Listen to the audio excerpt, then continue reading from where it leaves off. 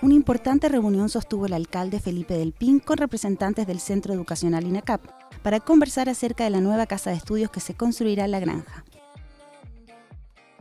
Es muy positivo que muchos de nuestros jóvenes que tienen que desplazarse grandes distancias para poder acudir a un centro de educación superior, lo tengan aquí en la comuna y tengan que trasladarse por menos tiempo, mayor comodidad, ¿no es cierto? Mayor, mayor seguridad, en fin, eh, tiene una serie de, de beneficios.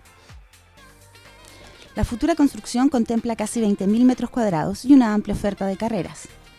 Tiene dos subterráneos, un, subterráneo, el menos dos es de estacionamiento y el menos uno es un, patio con eh, un casino y, el área, eh, eh, después el, menos, el primer piso tiene un auditorio, tiene toda la parte administrativa y un edificio que está, dijéramos, perpendicular al edificio principal, que tiene talleres y, salas de clase. Y en la parte de arriba, en el último piso, una cancha de, de deporte.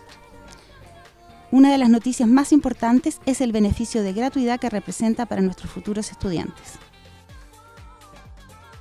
Es importante indicar que INACAP es una institución que está adscrita a la gratuidad a través de su centro de formación técnico y a través de su instituto profesional eh, y a través de su universidad en este momento no estamos adscritos a la gratuidad, eh, pero estamos eh, en el fondo en proceso de acreditación y esperamos también poder incorporar a, a esta, parte, a esta institución al, al, beneficio de la gratuidad, lo que en definitiva beneficia ¿cierto? y, y caracteriza hoy día eh, a la institución.